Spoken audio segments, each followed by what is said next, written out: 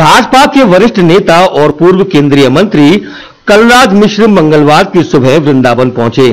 लगभग सुबह 11 बजे वे परिवार समेत परिक्रमा मार्ग स्थित बाबा नीम करोरी आश्रम में पहुँचे, जहाँ उन्होंने बाबा के दरबार में पहुंचकर मत्था टेक कर पूजा अर्चना की। इस दौरान आश्रम में पहुँचे पूर्व केंद्रीय मंत्री कलराज मिश्र का आश्रम के स्थानीय लोगों द्वारा पटका उड़ाकर और स्मृति चिन्ह भेंट कर भव्य स्वागत किया गया। स्वागत के उपरांत कलराज मिश्र पत्रकारों से रूबरू हुए। इस दौरान उन्होंने पत्रकारों से वार्ता करते हुए एएमयू में जिन्ना विवाद पर कहा कि जिन्ना देश के विभाजन का प्रतीक है, उनकी भूमिका एक खलनायक की ही रही है। अगर उनकी तस्वीर को हटाने की मांग हो रही है तो उस पर विवाद नहीं बनना चाहिए। वहीं मणिशंकर अय्यर के बयान पर उन्होंने कहा कि ये कोई नई बात नहीं है वे पहले भी आपत्तिजनक बयान देते रहे हैं। उन्होंने कहा कि कर्नाटक चुनाव पर इस बयान का कुछ असर होने वाला नहीं है। साथ ही उन्होंने कहा कि हिंदुस्तान का मुसलमान देशभक्त है। कुछ लोग ही हैं जो कौम को बदनाम करने का काम करते हैं। मुस्लिम यूनिवर्सिटी में जिन्ना प्रेम को लेके हंगामा चल रहा है तो उससे आपकी देखिए अलीगढ़ विश्वविद्यालय में जिन्ना का जो फ़ोटो था ये बात सही है कि जिन्ना भारत विभाजन के प्रतीक हैं और एक तरह से खलनायक की उनकी भूमिका रही है। विश्वविद्यालय बन जाने के विश्व आज़ादी प्राप्त हो जाने के पश्चात, भले ही उन्नीस सौ अड़तीस में उनकी फ़ोटो रही होगी लेकिन आज़ादी प्राप्त हो जाने के पश्चात भारत के अंदर जिसके प्रति ये छवि बनी हुई है, ये देश में विभाजन का एक प्रमुख बिंदु रहे हैं, बिंदु के रूप में रहे हैं, खलनायक रूप में जिसकी छवि रही है।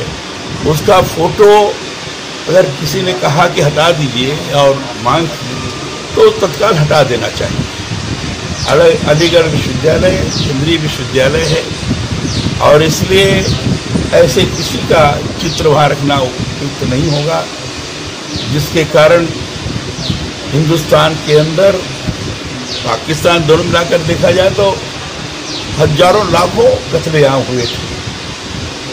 और मैं समझता हूँ कि इसको बहुत ऐसा मुद्दा नहीं बनाना चाहिए कि वो तो हमारे हैं, महापुरुष हैं ठीक है उनके होंगे तो जहाँ जाना चाहिए, पाकिस्तान बनाए, वहाँ जाना चाहिए। लेकिन यहाँ रखना ठीक नहीं है।